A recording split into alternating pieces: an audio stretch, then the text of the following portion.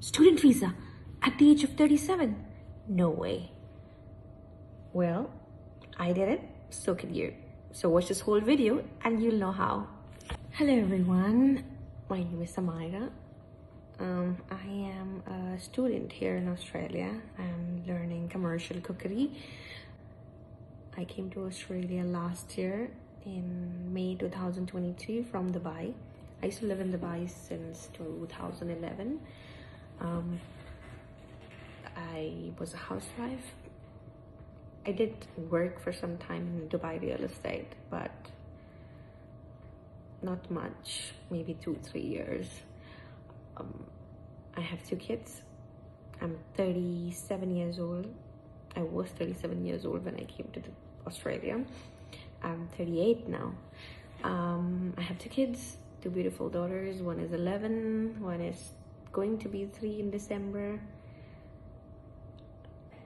Currently, I'm studying Cert 3 and 4 uh, in commercial cookery and uh, which is going to be over in December and after that I have a six months hospitality diploma after which I'll complete my two years of studies and I will be starting my job ready program. So yeah, I'm very excited. The main purpose of making this video is a lot of people my age or even elder to me, they always think that because they are over 35 or even over 30 and there is no possibility that Australia is going to grant them a visa, especially a student visa. And I just want to tell you guys that it is possible. It is it is possible. It was possible for me.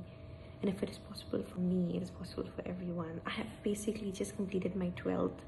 I have not completed my graduation after 12 my financial conditions were not that good that i could complete my studies so i had to start working at a very early age and uh, i did not want to complete my studies i did year i did do a one year hospitality aviation and hospitality management course from air hostess academy in back in 2004 but that was the only thing i studied it from 2004 until 2023 I did not have, I mean, it was a huge study gap, almost 18 years study gap. And even in spite of this, I did get my visa. And that was a, that was a very big moment of my life because I had really given up hope. It was a big weight. I came here on a tourist visa to to see my brother and he and my husband encouraged me to take up studies here since I always wanted to do always wanted to be a chef so yeah then I thought about giving it a go like why not because I was here on a three months visa to visit my brother's family. Um, it was my uh, niece's fourth birthday. So that's the reason i had come here. And then they asked me to apply for a student visa and, and i was like why not? I gave it a go and i had no hopes. But yeah they were positive and they gave me a lot of hope that it is possible so i was like okay if someone tells you there is no job available in Australia and people are struggling and everything, don't believe them. There are a lot of jobs available and people, I mean, they do need people here to work. So just trust your instincts and come. Just come. Experience Australia. It's a beautiful country. You'll love it here.